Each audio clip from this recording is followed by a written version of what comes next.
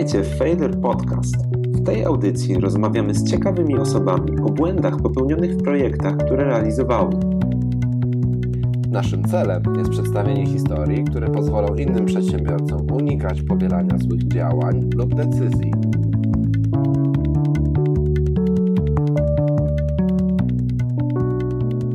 Cześć, cześć. Witamy Was w szóstym odcinku audycji Failure Podcast. Dzisiejsze nagranie będzie miało charakter poradnikowy dla osób, które myślą o udziale w Startup Weekend, ponieważ Maciek Jankowski jest organizatorem jednego z takich Startup Weekendów, konkretnie w Szczecinie. Robi też kilka innych rzeczy, ale myślę, że o tym w dalszej części dzisiejszego odcinka. Ponieważ dzisiejsze nagranie jest dłuższe niż zazwyczaj, to bez zbędnego przedłużenia zapraszamy do posłuchania naszej dzisiejszej rozmowy.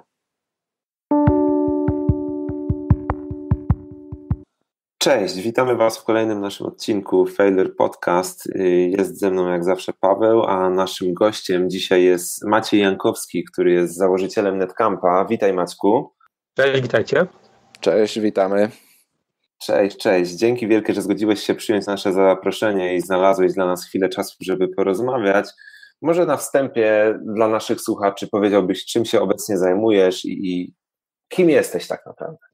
Jasne, jak już wspomnieliście, od 8 e, lat buduję największą w zachodniej Polsce społeczność technologiczno-startupową. E, co dwa miesiące organizujemy e, NetCampa, czyli inspirujące spotkania IT. No jak mówiłem, to już, już, już, już jest ponad, ponad 8 lat. Poza tym dość e, mocno wspieram całe, całe środowisko startupowe, tak, zarówno e, będąc jednym z e, założycieli Startup Poland, aktualnie, aktualnie jestem członkiem Rady, jak i też organizując polsko-niemieckie startup weekendy.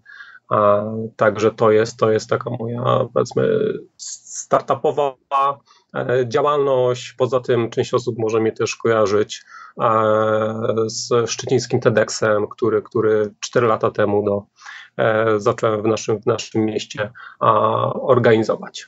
Fajnie, dużo ciekawych startupowych aktywności. Jeszcze dopytam, co znaczy polsko-niemieckie startup weekendy? Polsko-niemieckie startup weekendy, no z racji, że pochodzę ze, pochodzę ze Szczecina, a, gdzie wiadomo, do Berlina, do Berlina mamy bliżej niż, niż do, do naszej stolicy, no to w 2011 roku właśnie postanowiłem, że warto, warto czymś wyróżnić tak tutaj nasze lokalne startup weekendy. E, no i odbywałem się one w formule polsko-niemieckiej, także zapraszamy e, zarówno uczestników, jak i mentorów e, z naszej, naszej zachodniej granicy, z Niemiec, głównie z Berlina.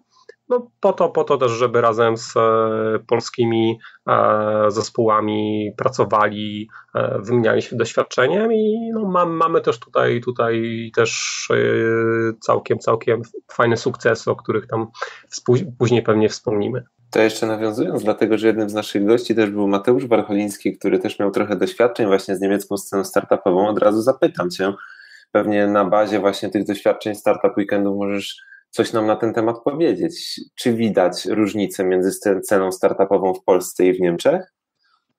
E, tak, tutaj, tutaj myślę, myślę, że jakby Niemcy, Niemcy, a Polska, czy w ogóle nawet traktując sam Berlin porównaniu jakby z, z, wszystkimi polskimi miastami, z całą polską sceną startupową jest jakby jest mocno do przodu. Jakiś czas temu e, nawet nawet przejął, można powiedzieć, od Londynu, tak, takie, e, taki tytuł e, europejskiej stolicy startupów. Dzieje się tam naprawdę dużo. Samo miasto też temu sprzyja, tak? A jest sporo, sporo tam kreatywnych ludzi. No plus patrząc nawet po takich e, sukcesach jak, jak SoundCloud, czy nie wiem, cała ekipa, która stoi za, która stoi za Delivery Hero, no czy też Rocket Internet, tak, no to, to, to pokazuje, że jest tam, jest tam bardzo duży potencjał, e, są w stanie ściągać nawet, nawet ludzi ze Stanów, tak, którzy właśnie przyjeżdżają do Europy, bo chcą robić startupy akurat w Berlinie. Czego Twoim zdaniem potrzeba, żebyśmy dotarli do tego samego miejsca jako, jako polska społeczność startupowa? No, myślę, że ten, myślę, że mamy tutaj jeszcze dużo, dużo do zrobienia, a natomiast tak na dobrą sprawę mm, wiele, wiele z takich barier, tak, myślę, że jakby nadal tkwi w naszych głowach. kiedy, kiedy też zakładałem fundację Netcamp i gdzieś staraliśmy się sformułować wizję, tak, to co, to co chcemy robić, to właśnie postanowiliśmy nawiązać do Doliny Krzemowej, ale w taki sposób, że jeżeli, jeżeli przyjmiemy, że właśnie Dolina Krzemowa, tak, to jest, e, jest e, nie tylko fizycznym miejscem, tak, w które rząd amerykański i wojsko wpływa miliardy dolarów, ale to tak na dobrą sprawę jest też e, pewien stan umysłu. Tak, no to możemy, możemy ją budować w głowach ludzi poprzez E, promowanie takich wartości właśnie jak e, współpraca, dzielenie się wiedzą, networking, tak, czyli właśnie tego, tego co, co, co stanowi o tej, o tej przewadze, no i właśnie w ramach, w ramach Fundacji Netcamp, czy organizując e, nasze spotkania, startup weekendy, czy też inne działania wspierające startupy, staramy się właśnie zaszczepić, tak, zaszczepić tą Dolinę Krzemową E, w głowach ludzi, no bo niestety nie, nie, nie, nie dysponujemy takimi ogromnymi budżetami. E, natomiast też na pewno w przypadku Berlina e, ważną rolę odgrywa to, że samo miasto zauważyło, że właśnie ten wizerunek takiego miasta właśnie przyjaznego dla startupowców e, może być jakby częścią, częścią ich polityki i jakby znaczne środki e, tutaj zostały, zostały przez jakby władze, władze Berlina przekazane na właśnie działania, które e, promują tą markę Berlina na świecie. Z tego co wiem, to nawet już konkretne liczby czy założenia można, można przybliżyć, jeżeli chodzi o ilość po prostu miejsc pracy, które się udało wygenerować w Berlinie dzięki, dzięki właśnie programom wsparcia startupów, czyli właśnie też startupów, które tam coraz, coraz liczniej powstają. W ramach dzisiejszego odcinka będziemy się skupiać mocno na słowie startup, a konkretnie chcielibyśmy troszkę szerzej omówić z Tobą wydarzenia Startup Weekend, omówić czym one są i w jaki sposób e, to, co się dzieje podczas takich wydarzeń, pozwala uczestnikom uczyć się rozwijania firmy od zera. Jakbyś mógł tak e, sformułować, opisać, e, zdefiniować, czym są Startup Weekendy? Miałeś okazję współorganizować te, wiele tego typu wydarzeń. E. Jakbyś mógł powiedzieć, jakie są jego cele, na czym polegają? Jasne. Zacznijmy od tego, że Startup Weekend na dobrą sprawę jest największą taką globalną społecznością startupową. E, są to wydarzenia, takie 54-godzinne warsztaty, które w każdy weekend na świecie co najmniej, co najmniej jeden się odbywa. Nie, może, może poza, poza ewentualnie jakimś Sylwestrem, tak, czy takimi świętami, natomiast jest to naprawdę globalna, globalna społeczność. Do, do tej pory, do tej pory już e, kilkanaście tysięcy osób na całym świecie miał okazję właśnie brać udział w startup weekendach, w bardzo wielu, wielu krajach się odbyły, no i, i na pewno, na pewno dzięki, dzięki właśnie startup weekendom wiele osób e, po raz pierwszy tak miało w ogóle jakiś kontakt ze startupami, a i też do tego, do tego środowiska, do tej, do tej branży startupowej mogło, e, mogło dołączyć. E, na pewno warto też, e, mówiąc o startup weekendach e, w Polsce, w Polsce pierwsze startup weekendy to, to jest rok 2011. Tutaj Warszawa, jak dobrze pamiętam, zaczęła w maju pierwsze wydarzenia, mm, potem drugi, drugi to jest poznański startup weekend, a nasz polsko-niemiecki był, był trzecim tego typu wydarzeniem w Polsce. I tak, wracając też do samej idei, tak, idea Startup Weekendów też polega na tym, że w jednym miejscu gromadzimy a, takie trzy, trzy, trzy kategorie uczestników, tak, są to zarówno pomysłodawcy, e, pomysłodawcy czy to osoby techniczne, e, czyli, czyli e, programiści, deweloperzy, e, czy też osoby biznesowe, i trzecią kategorią są, e, znaczy biznesowe, w tym, w tym biznesowych mamy oczywiście też e, osoby, które nie mogą się zająć marketingiem, sprzedażą. A trzecia kategoria, która najczęściej na startup weekendach jest e, najmniej liczna, co powoduje problemy i wiele zespołów się o nich bije, czyli, czyli designerzy, ludzie, ludzie od UX-u.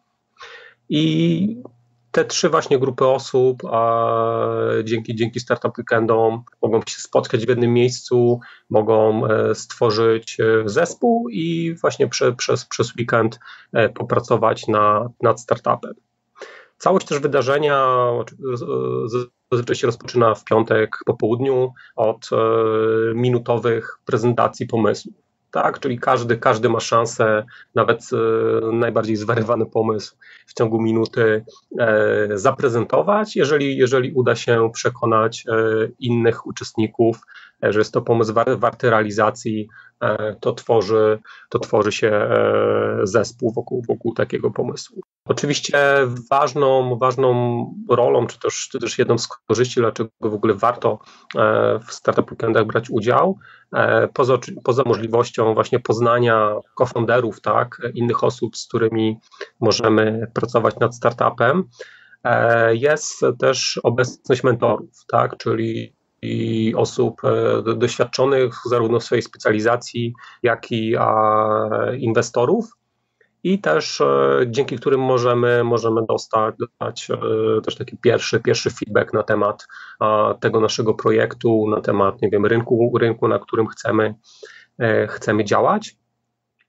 E, tak, też właśnie mówiłem, mówiłem o, o mentorach, mówiłem o inwestorach. E, też e, cały format polega na tym, że ostatniego dnia mamy, mamy do czynienia z Demo Day, czyli E, takimi finałowymi prezentacjami projektów, które e, podczas, podczas startup weekendów e, powstały, gdzie właśnie grono jury złożone właśnie z doświadczonych przedsiębiorców, inwestorów wybiera najlepsze projekty, natomiast myślę, że i tak jakby nagroda, nagroda czy zwycięstwo w Startup Weekendzie z jednej strony pozwala, pozwala jakby daje sporo, sporo takiego bazu, tak, czy też e, PR-u dla, dla, dla potencjalnych projektów, natomiast nawet te, te, te zespoły, które, które nie wygrają, e, mogą bardzo skorzystać właśnie dzięki temu, że w ogóle e, przeszły tak, od takiego etapu, nie wiem, myślenia,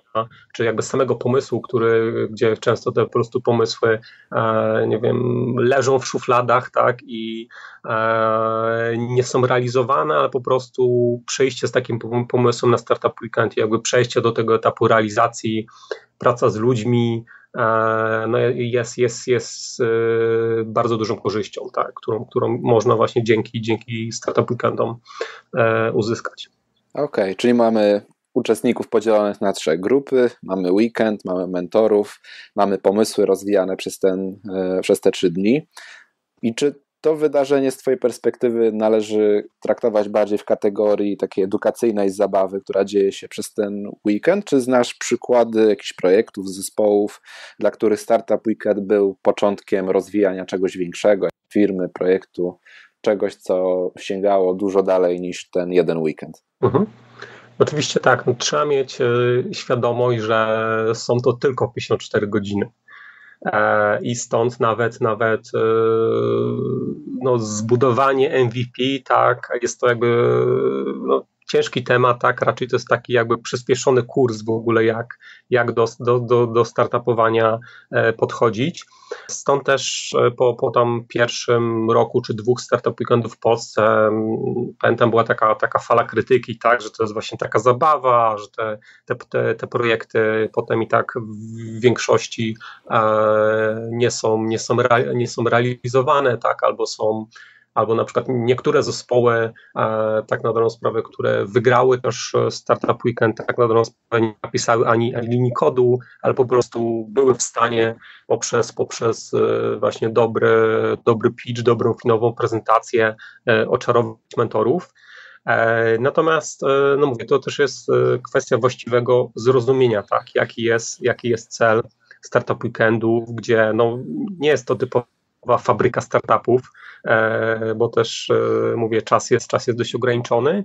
Natomiast chodzi o pokazanie osobom, które dopiero, nie wiem, myślą, myślą nad, nad stworzeniem startupu, taki jakby szybki, szybki kurs, e, szybki kurs startupowania, plus myślę też to, z czym wiele osób ma problem, czyli jeżeli jest pomysłodawcą, natomiast nie ma kompetencji technicznych, no to może być mu przy dzisiejszej sytuacji na, na rynku dość ciężko przekonać, tak, czy, czy znaleźć odpowiednią osobę, odpowiedniego programistę, który, nie wiem, w zamian za, za udziały, tak, za wspólną realizację projektu, będzie, będzie chciał ten projekt z nim realizować. A Startup Weekend właśnie daje okazję na spotkanie, spotkanie takich osób. Wracając jeszcze do, do Twojego pytania o e, sukcesy, czy też zespoły, które, projekty, które jakby dalej, dalej były rozwijane, e, na pewno warto tutaj wspomnieć o jednym z, ze zwycięzców e, pierwszego polsko-niemieckiego Startup Weekendu w Szczecinie, a który w sumie zgarnął nagrody we wszystkich trzech kategoriach.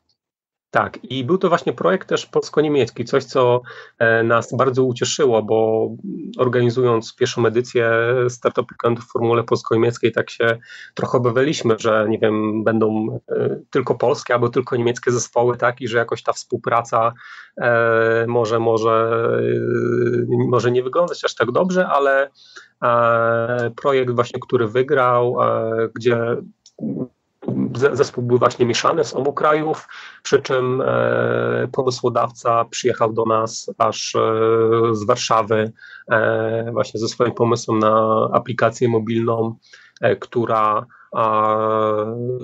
zamieniała analogowe takie szkice, powiedzmy takie mock-upy, projekty aplikacji, tak, na na wersję cyfrową. E, udało mu się tutaj zebrać właśnie taki polsko, polsko-niemiecki team i sześć miesięcy po, po właśnie wygranej w naszym Startup Weekendzie pozyskał inwestora w Berlinie fundusz Hack Forward e, około 200 tysięcy euro zainwestował tak, w, jego, w jego pomysł, e, właśnie przeniósł się do Berlina tak, i tam dalej, dalej z zespołem e, nad nim pracował. Także no, są, też, są też przykłady, że można, e, chociaż z tego co wiem, ostatecznie projekt e, dość mocno spiwotował, tak? czyli się zmieniła ta początkowa idea i e, chyba, chyba jednak nie odniósł sukcesu.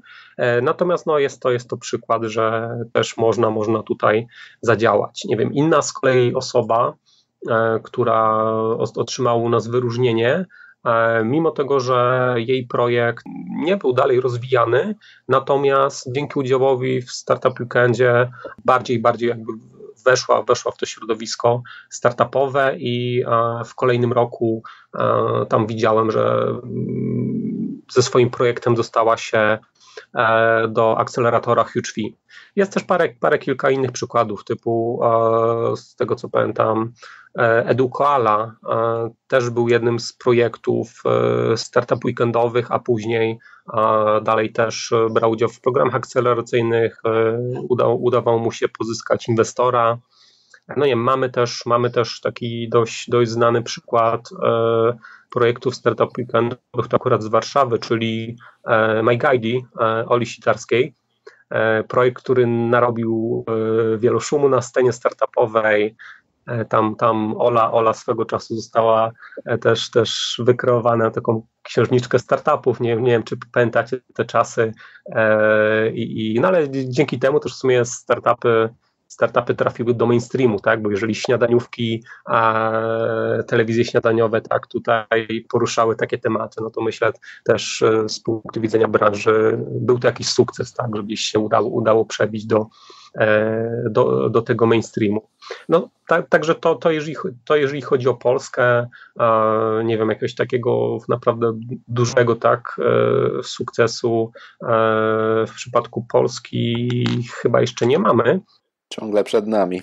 Tak, ciągle przed nami, natomiast jak widzę, ci ludzie nawet, nie wiem, po ostatniej edycji naszego Startup Weekendu, jeden z wyróżnionych projektów z Wrocławia akurat, później dzięki temu, że też poznał E, poznał e, mentorów, aktualnie jest w programie e, akceleracji w starterze, tak, Starter Rocket, o ile dobrze pamiętam, tak, tak się nazywa ten program akceleracji, także jakby dalej, dalej tam chłopaki nie walczą. Gdyby nie Startup Weekend, tak, to może by to się inaczej potoczyło, tak.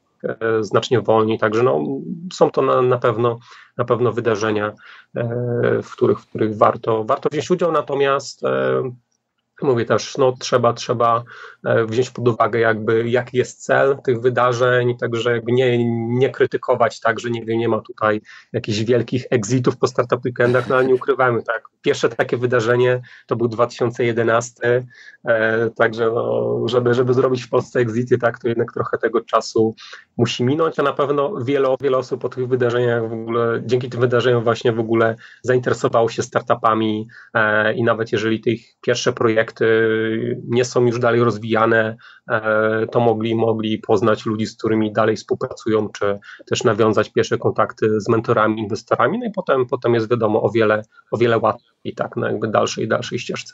Fajnie, znaczy dużo ciekawych projektów i tak yy, myślę tutaj też informacja dla słuchaczy, postaramy się do tych, szczególnie do tych, które jeszcze zostawiają jakiś ślad w internecie, umieścić linki pod opisem do tego podcastu. A ja jeszcze zadam takie pytanie, ponieważ sam powiedziałeś, 54 godziny to nie jest dużo.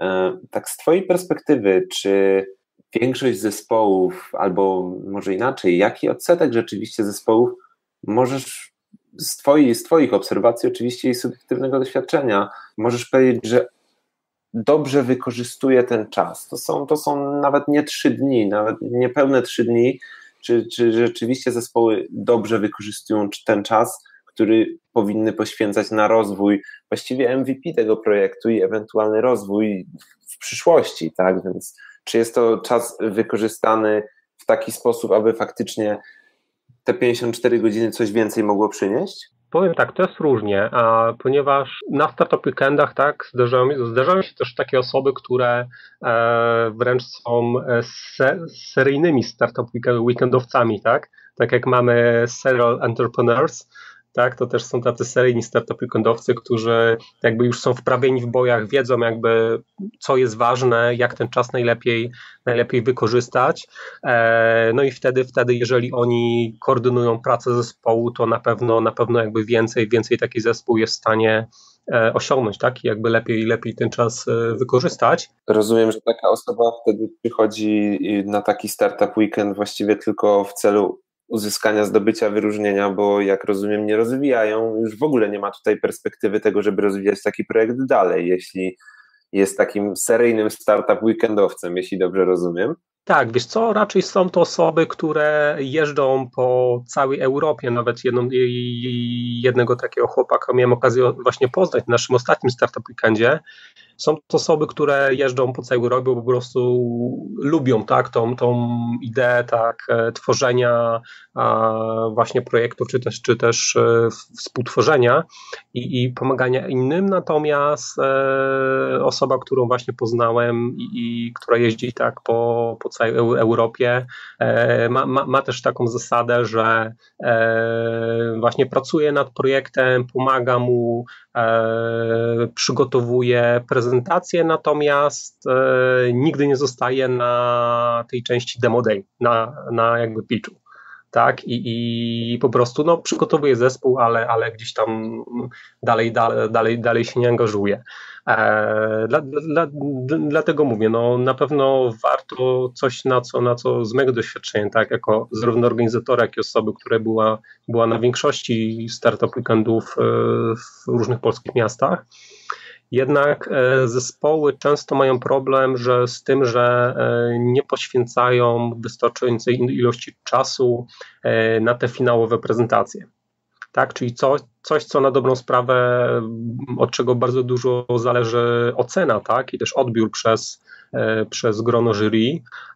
Natomiast no, jeżeli widzę, że te prezentacje często powstają tak e, w niedzielę, gdzieś tam e, dopiero, dopiero po południu, tak się myśli, no, że trzeba w końcu, trzeba w końcu zrobić tą prezentację, no to wtedy jednak nie ma, nie ma, nie ma często czasu, tak, żeby ją przećwiczyć, tak, żeby dopracować, żeby znalazły się tam kluczowe informacje, tak, jakie powinny E, powinny też przekonać tak, nie, potencjalnych inwestorów czy osoby oceniające. Także e, mimo tego, że od jakiegoś czasu zarówno u nas, jak i na innych startup weekendach organizatorzy poświęcają też pewną ilość czasu na właśnie pracę, tak, pracę, czy też takie przygotowanie tych uczestników do tego, jak powinna wyglądać dobrze zrobiona prezentacja.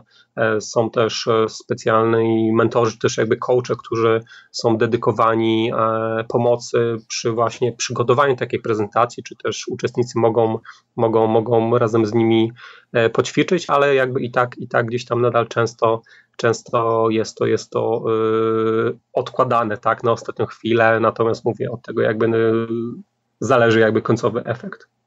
A czy to nie jest też tak, że właśnie na tym etapie, gdy trzeba tworzyć ten produkt, jest to bardziej taki etap wizjonerstwa, koncepcji, rozmawiania o pomysłach, wszystkim bardziej się chce, a w praktyce, gdy już trzeba coś zrealizować, czy to ma być prezentacja, czy konkretne rozwiązanie, ten zapał trochę przy tej realnej pracy opada. Czy, nie, nie, czy to nie wiąże się przypadkiem z tym, co często obserwujemy, że są fajne projekty, ale gdzieś czasami brakuje zapału do końcowej realizacji i przechodzenia nawet podstawowych problemów? Czy to też można zaobserwować coś takiego na Startup Weekendach? E, wiesz co, znaczy tak, no dużo oczywiście zależy od, e, od, od, od, samego zespołu, tak, e, jeżeli zespół jest mocno techniczny, tak, no to wtedy, wtedy faktycznie no, często, często się jakby skupia stricte na nie wiem, budowaniu kolejnych funkcjonalności, na, na właśnie no, pisaniu tego kodu, natomiast no, gdzieś tam odkłada w czasie, tak, kto, kto będzie za tą prezentację odpowiedzialny, czy kto będzie występował, tak, bo nie ukrywają programiści też E, nie bardzo lubią na scenie e, błyszczeć, tak, i, i chętnie, chętnie by, woleliby, żeby, żeby tutaj inne osoby im, im pomogły. Natomiast też e, myślę, że jedną z takich kluczowych rzeczy, tak, którą, których uczą Startup Weekendy, to jest w ogóle samo podejście do budowania startupu. Mam tu na myśli takie podstawy, podstawy procesu, który nazywamy Customer Development tak? Czyli e, chociażby też to, że zanim w ogóle zaczniemy e, zaczniemy coś kodować, tak, nie wpisywać sobie listę, listę, listę funkcjonalności, tak, czy tam rysować, jak będzie aplikacja wyglądała, no to jednak bardzo ważne jest, żeby, e, jak to mówią, e, go out of the building, tak, żeby wyjść, e, nie wiem, z tego, z tego miejsca, w tego garażu, tak, w którym się gdzieś tam zamykamy na, nad tym, żeby, żeby nie tworzyć startup, no i porozmawiać e, z potencjalnymi e, klientami, tak, zweryfikować, czy, czy w ogóle problem, który, który nasza aplikacja ma rozwiązywać, no jest, jest wart rozwiązania, tak, czy E, czy rynek, e, czy rynek w ogóle tego, tego potrzebuje. Nie wiem, jakie są inne, e, inne alternatywy, jak wygląda konkurencja, tak? O, o, o, czym czasami niektórzy pomysłodawcy zapominają i myśląc, że nie wiem, ich, ich produkt jest jakiś mega innowacyjny, natomiast no, nie, nie, nie badając dostatecznie rynku, no, może się okazać, że jest to jakby kolejny, kolejny klon, tak? Że właśnie też pokazanie uczestnikom, że są takie narzędzia, e, chociażby jak e, Lean Canvas, tak, gdzie możemy, gdzie możemy nasz projekt po prostu ustrukturyzować, tak, e, pokazać, pokazać jakie, nie wiem, jakie są e, segmenty klientów, jaki jest problem, jakie rozwiązanie, e, nie wiem, jakie jest value proposition, tak, to jest też myślę konkretna wiedza, E, i często właśnie też jest dedykowany warsztat podczas Startup Weekendu, gdzie wiele osób po raz pierwszy tak, ma się okazję zetknąć tak, właśnie z takim podejściem do, do tworzenia startupów. E, no i na pewno, na pewno to też e, ułatwia, tak, ułatwia im znacznie działanie przy kolejnych, kolejnych projektach, no bo nie ukrywajmy, tak, jakby większość startupów według, nie wiem, wielu, wielu badań, w tym między innymi E, Startup Genome, który jest e, największym tego typu badaniem na świecie, z tego co wiem, tak, to przyczyny upadku większości startupów to jest po prostu brak zapotrzebowania na rynku. Tak, czyli, czyli podejście takie, gdzie e, zespół jest jakaś wizja, skupiamy się od razu na rozwiązaniu, tak, na, jakby na budowie tego rozwiązania. produktu, którego nikt nie potrzebuje. Tak, tak. Do, do, dokładnie jest po prostu, yy, nie wiem, yy, jest często właśnie zespoły techniczne mają, mają tego typu podejście, tak, gdzie po prostu kodujemy, kodujemy, mamy jakąś pewną wizję i też pewne przyjęte założenia, czy też hipotezy, które, bo tak na sprawę w startupach na dobrą sprawę opieramy się na początku przede wszystkim na hipotezach i jakby poprzez proces customer development nie weryfikujemy. Natomiast jeżeli się przyjmie te hipotezy za pewniki, tak, e, i potem po prostu będzie, będzie mm, poświęci mm, pewną ilość czasu tak, na, na zbudowanie tego rozwiązania, tej wizji, no to potem ostatecznie jakby zderzenie z rynkiem może być bardzo bolesne. Maciej, a powiedz mi, bo ruszyłeś właśnie temat wielu błędów już popełnianych także przez te zespoły podczas startup weekendów. Czy nie jest też tak, że przez te trzy dni eventu, który jest organizowany, rzeczywiście można trochę jak w soczewce zobaczyć przekrój tych najczęściej popełnianych błędów przez startupy, przez młode firmy? E, tak, tutaj akurat się mogę, mogę z tym zgodzić, tak. E, no pierwsza, pierwsza w sumie rzecz, która też, też tutaj może wyjść, tak, to kwestia tego, że jakby kluczowym, kluczowym zasobem w startupie e, są ludzie, tak, czyli zespół, ludzie, którzy, którzy są zgrani, tak, którzy potrafią ze sobą pracować, a w momencie, kiedy mamy bardzo dużą presję czasu, tak, no to Startup Weekend jest dobrą weryfikacją, tak, e, jak, jak się będzie nam pracować, tak, e, w danym zespole, czy z konkretnymi osobami. E, z drugiej strony też patrząc na właśnie pewne, pewne błędy, no to jest chociażby, mm, nie wiem, nie, niewystarczające zbadanie problemu, tak, kwestia konkurencji, tak, tego, tego, tego właśnie, żeby poświęcić też czas na, na odpowiedni research, e, czy, czy chociażby mm, właśnie to nasze e, value proposition, tak, to, to co chcemy zaoferować tym naszym, naszym potencjalnym klientom. Tak, no Startup Weekend, jako że to jest takie przyspieszony kurs, w sumie budowanie takich e, fundamentów startupu na pewno może, może pokazać nam E, no, w pigułce takie, takie startup life, które e, wbrew e, różnym, różnym rzeczom, które możemy poczytać w mediach, tak, historią sukcesu, wcale aż tak świetlanie nie wygląda. Tu nawet, nie wiem, takie osoby jak ostatnio akurat czytałem Michał Sadowski tam przypominał te początki Brand24, tak, był, był artykuł na Medium, tak, i o ile gdzieś tam wszyscy teraz biorą go jako, jako taką ikonę tak, takiego idealnego foundera, e, no to też jak się, jak się faktycznie z, zobaczy, że te początki Brenda nie wyglądały tak różowo, tak, e, w sumie w pewnym momencie nawet do, do takiej sytuacji e, zespół doszedł, tak, że był w stanie sprzedać jakby sam projekt po to, żeby ktoś ich zatrudnił, tak? Czyli w sumie oddać projekt za darmo tylko po to, żeby, żeby pójść do jakiejś firmy na etat, tak? E, także, także no mówię, warto, wa, warto mieć świadomość, tak, że, e, że startupy, tak, to na dobrą sprawę jest, jest e, ciężka praca, a nie high, high life. To gdybyśmy mieli takie małe kompendium e, porad dla osób, które będą wybierały się na Startup Weekend, omówić, na co uważać, to będzie przed spotkaniem co? Przemyśl, zbadaj dobrze swój pomysł? Mhm. Tak, na pewno e, przygotowując się do Startup Weekendu, a warto, warto już sobie wstępnie e, go ułożyć. tak, e, czy to, też, czy to też zapoznać albo zrobić taki wstępny wstępny link canvas, tak, który, nad którym będziemy mogli e, popracować razem, razem z zespołem w trakcie.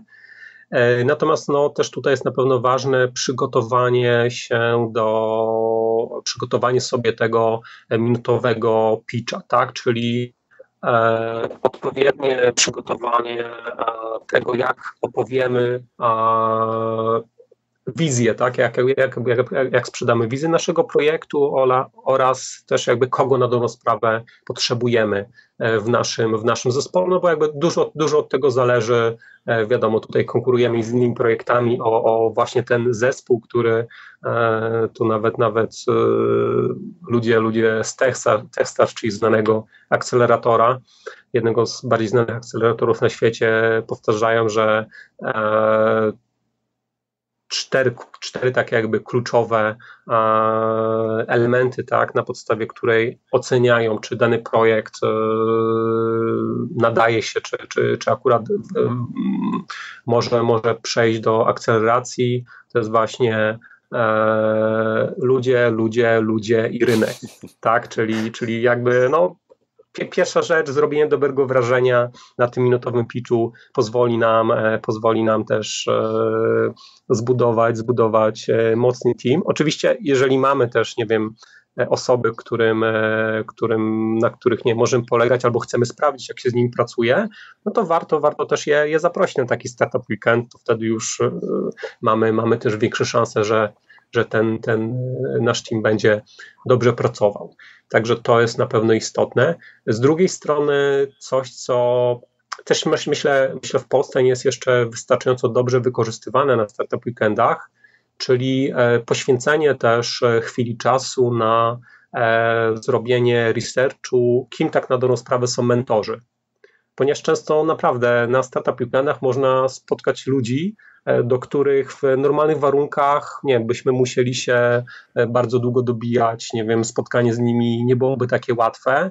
Natomiast no, na Startup Weekendzie po prostu mamy, mamy okazję ich poznać, porozmawiać, jeżeli spodoba im się, im się nasz projekt, albo to w ogóle jak, jak do niego podchodzimy, to na pewno no, budujemy tutaj sobie też relacje i warto sobie zrobić taką shortlistę osób, z którymi, e, z którymi warto porozmawiać, tak, ponieważ ich kompetencje mogą się zwłaszcza przy naszym projekcie przydać, nie wiem, zwłaszcza jeżeli są na przykład ekspertami e, w, nie wiem, działającymi na, na podobnym rynku, na którym my chcemy działać, znają realia e, i będą w stanie nam tutaj pomóc. Także na pewno, na pewno kwestie, kwestie mentorów też no, warto poświęcić trochę czasu na ten research, żeby potem, potem, potem jakby w pełni wykorzystać tak, to, że tam są. Okej, okay, czyli podsumowując naszą rozmowę, jeżeli miałbyś e, doradzić, czy warto, czy nie warto e, uczestniczyć, wybrać się na tego typu wydarzenie, to rozumiem, że zdecydowanie polecasz.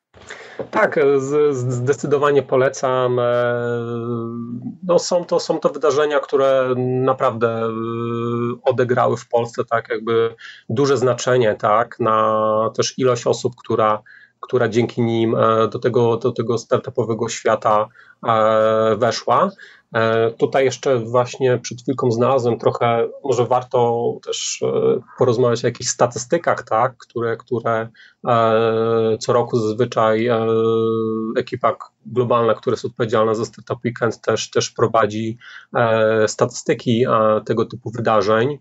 I tutaj też mogę, mogę podać parę liczb, chociażby takich jak a to, że właśnie ponad 120 tysięcy osób e, uczestniczyło już w Startup Weekendach na całym świecie, e, stworzyli 13 tysięcy startupów, a 1500 startup weekendów tak, e, do tej pory do tej pory się na całym świecie odbyło. Z drugiej strony też ciekawe statystyki, co się dzieje po startup weekendach gdzie 85% uczestników utrzymuje kontakt ze swoim zespołem, tak, z ludźmi, których, których poznali na takim wydarzeniu, e, a 79 uczestników e, planuje kontynuować pracę nad swoim startupem po, po zakończeniu warsztatów. Także no, no są to są to tak, dość, dość optymistyczne bardzo, bardzo dobre liczby. liczby. Tak, no bardzo dobrze liczby, do, dobre liczby. Myślę, że e, gdzieś w porównaniu, na przykład jak mielibyśmy Startup Weekend, chociaż to nie jest, nie jest to sama kategoria, ale gdzieś porównywać do naszego, naszej, naszych osiem jedynek innowacyjnej gospodarki, e, no to mogło, mogłoby się okazać tak, że, że, że statystyki co najmniej są porównywalne, tak, mimo tego, że tutaj Tutaj e, automatycznie zazwyczaj nie ma, nie ma żadnego, żadnego fundingu. E, coś, co jeszcze mógłbym dodać, dlaczego w ogóle się warto startup weekendami e, zainteresować, to jest też ważna informacja, ponieważ w połowie zeszłego roku Startup Weekend stał się też częścią Techstars, czyli właśnie tego jednego z dwóch najbardziej znanych akceleratorów na świecie, i to też daje, daje jakby większe możliwości na jakby późniejszą ścieżkę rozwoju, tak, ponieważ nie, po Startup Weekendzie, nie wiem, po pracowaniu nad pomysłem możemy też próbować aplikować do, do Techstars, które e, no, jest dość blisko, ponieważ e, Techstars działa zarówno w Berlinie, zresztą e, jeden, jeden, jeden z naszych mentorów ostatniej edycji był też, jest też alumnem, tak, jakby tego pierwszego Techstarsa berlińskiego, no czy też w Londynie, także tutaj do, do wyboru, tak, kto, kto woli Berlin, kto, kto woli Londyn. Natomiast na pewno, na pewno gdzieś udział, udział, udział w Start Weekendzie e, też będzie, będzie tutaj jakimś, jakimś plusem tak, w przypadku e, potem, potem aplikowania czy też wejścia na, na tą ścieżkę akceleracji.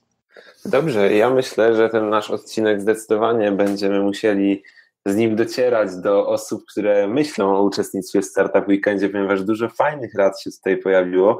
Też jakich błędów nie popełniać właśnie przygotowując się i uczestnicząc w tym evencie.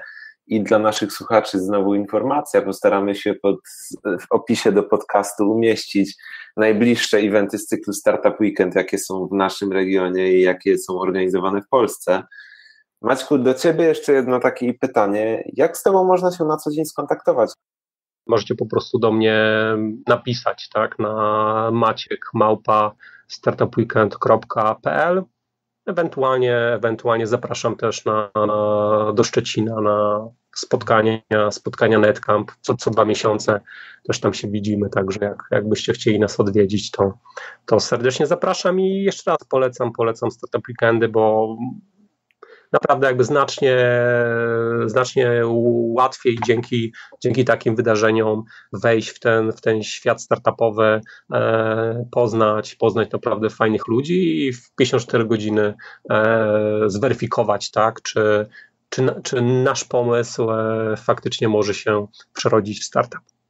Dzięki Ci wielkie Maćku. Linki oczywiście zarówno do kontaktu z Tobą, jak i do spotkań NetCampu, Startup Weekendów umieścimy także w opisie do podcastu. No i cóż, dziękujemy Ci wielkie za poświęcony czas i za garść rad, którą przekazałeś dzisiaj naszym słuchaczom. Dzięki również.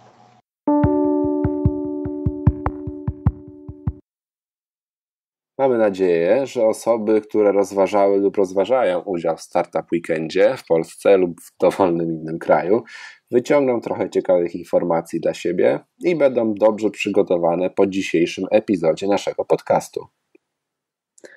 Więcej o Startup Weekendach znajdziecie w materiałach referencyjnych i notatkach na naszej stronie www.failerpodcast.pl ukośnik 006. Dzięki, że byliście dzisiaj z nami i zapraszamy ponownie za dwa tygodnie. Naszym gościem będzie wtedy podcaster tworzący Startup Talks, Paweł Sieczkiewicz. Dzięki i do usłyszenia ponownie.